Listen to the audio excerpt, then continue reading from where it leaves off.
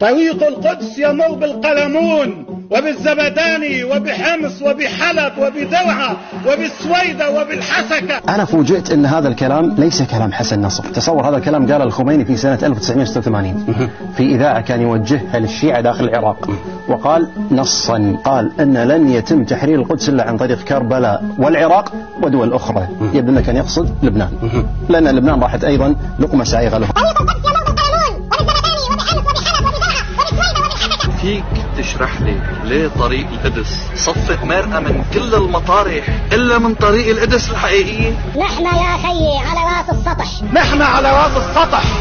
أصدقاء الصهاينة وحلفاء إسرائيليين لا نخفي هذه الصداقة ولا نخجل بها بل نؤمن بها وندعو كل اللبنانيين إلى تعزيزها وإلى توثيقها وهذا مصلحة للبنان أولا. جاءت هذه الاعترافات لتجيب على التساؤلات الكبيرة بخصوص التناغم بين الصهاينة وحزب الله رغم التظاهر بالعداء.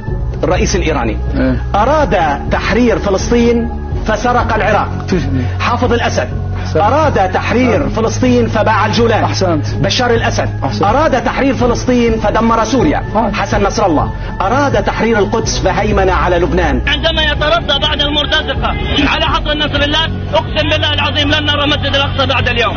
والله العظيم إذا ما قتلنا حصن نصر الله أقسم بالله العظيم بعدها قولوا لي سنصلي بالمسجد الأقصى المبارك.